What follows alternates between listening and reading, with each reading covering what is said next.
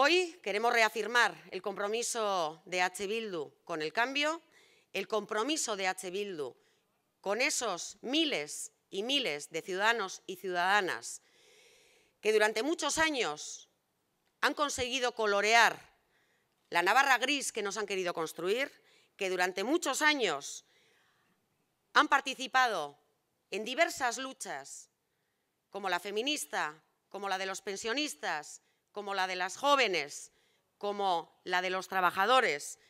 Y tenemos muy claro que el cambio no ha sido un accidente, que son todas esas luchas las que nos han traído hasta aquí y que van a ser también ahora, en el 2019 y en el futuro, las que nos van a marcar el camino y las que nos van a empujar a seguir consolidando este cambio.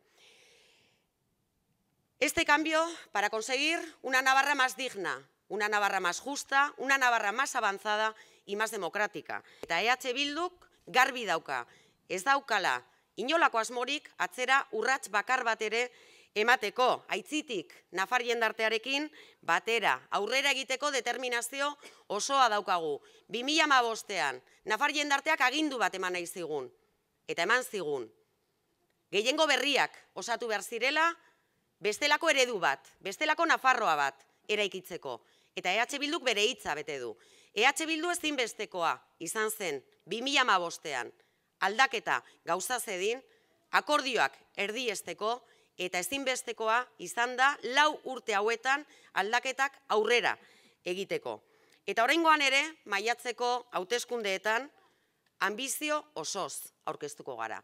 Ambizio osoz, bai udal hauteskundetan eta bai foru hauteskundetan. Udal hauteskundetan lehen indar municipalista izaten jarraitzeko ambizio osoa daukagulako.